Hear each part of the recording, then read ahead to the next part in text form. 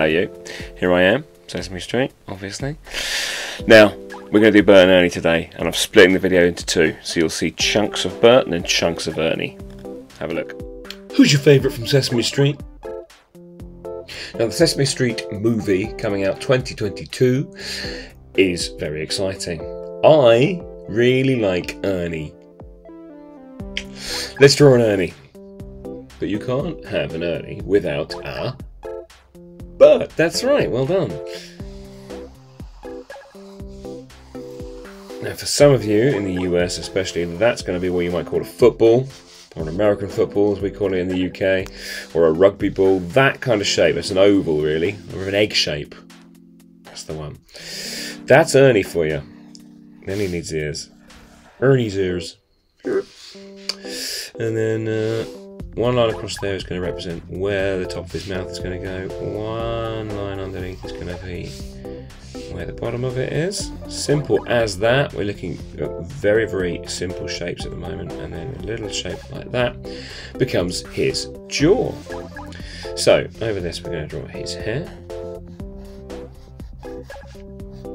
That's pretty simple as well. I'm hoping we're going to see a lot of Bert and Ernie because I love Bert and Ernie. They are very, very cool, very funny, very lovely people, and they teach us lots of cool things about being kind and being friends. And looking like a pineapple. No, I mean, Bert does look kind of like a pineapple. That's what we do. It's not SpongeBob's house, it's Bert's head. Anyway, here's big nose. No offense, no. sorry. I'm gonna draw his mouth, his nose, eyes.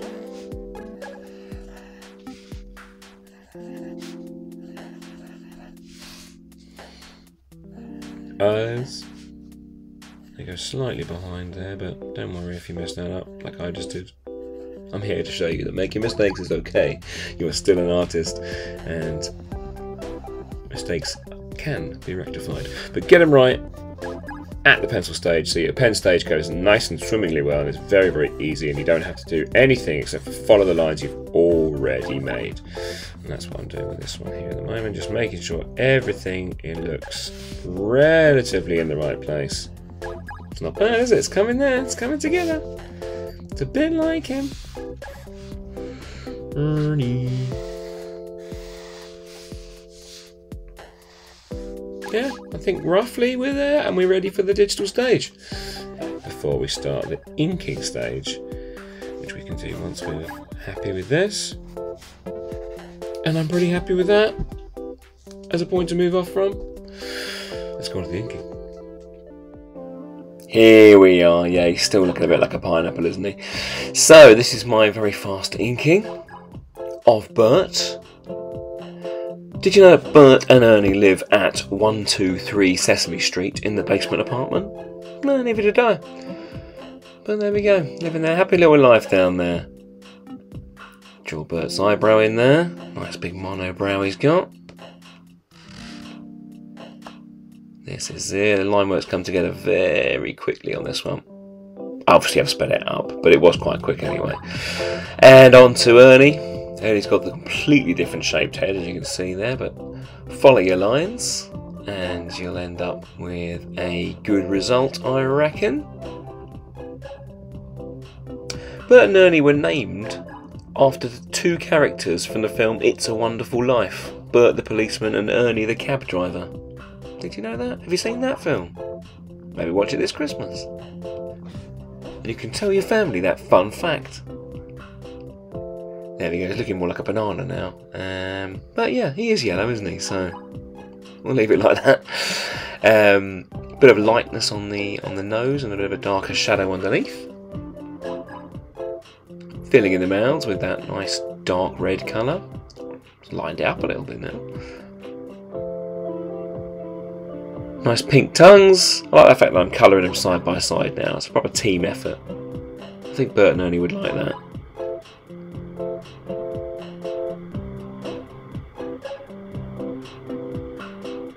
Getting all my base colours in there and a bit of shadow underneath. Can't resist putting a bit of those in just to keep it uh, a bit more uh, lifelike, a bit more realistic. Filling Bert's eyes now. He's really coming to life now, isn't he? Ernie. He's waking up too. So this video is made before the 2022 Sesame Street film comes out. When that movie's out, I'm going to watch it a hundred times. I really hope Bert and Ernie are in it a lot.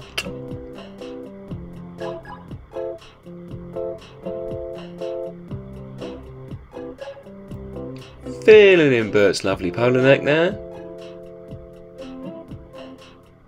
And all I've really got left to do now is the stripes on their jumpers. Not quite different stripy jumpers. If you could dress like Bert or Ernie, which one would you dress like? Let me know in the comments. I know which one I would dress like. It's Bert. It's Bert. I feel like I've got Bert's hairstyle as well. there they are. That has really come together nicely. He's got to finish off Bert's jumper. That's why I want to dress like Bert. Is that jumper? I absolutely love it. Someone let me know where I can find where I can buy that jumper.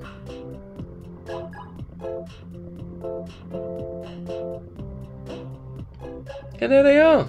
That's the finished pick. I'm really quite pleased with them. It's my little love letter to Bert and Ernie. I hope you liked it too. Bye. Thanks for watching, guys. I'll see you next time on CaptainFishbeard.com.